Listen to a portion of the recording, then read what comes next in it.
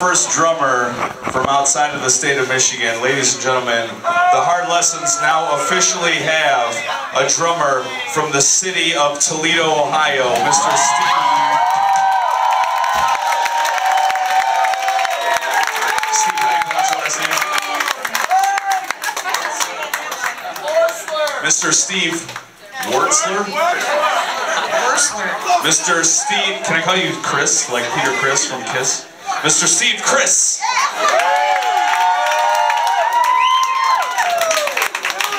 And right now we're going to make him play a song by Iggy Pop. You're getting one cover from us tonight, motherfuckers. This song's called I'm Bored.